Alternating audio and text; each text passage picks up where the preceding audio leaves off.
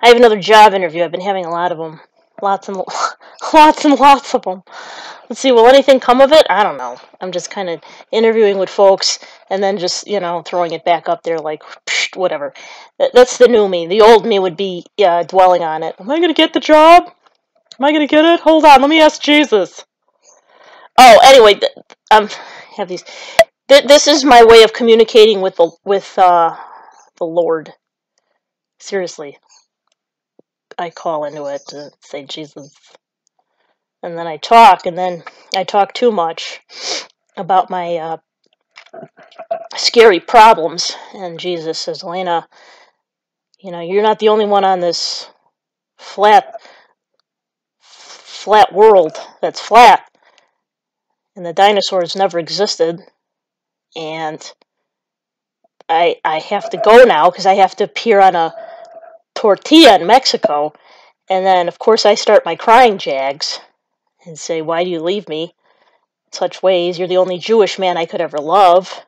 And he says, "Cripes, Elena, get a grip," you know, and then and then I cry some more, and then he says, "You know, I can't help you, and I'm Jesus." and that's pretty bad.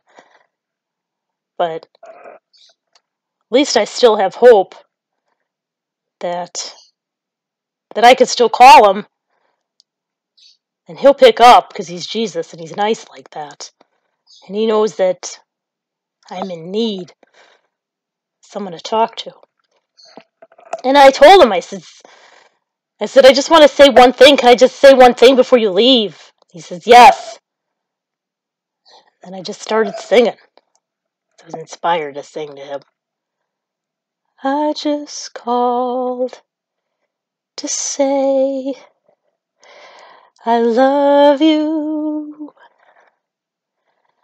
I just called to say how much I care. I do. Hello? Is this a fake hang up? It's a fake hang up. Alright. Okay. I guess I'll have to fly to Mexico to see on a tortilla. Crap, I'm afraid of flying. Better call him back. Jesus? Jesus? Yeshua? Hello?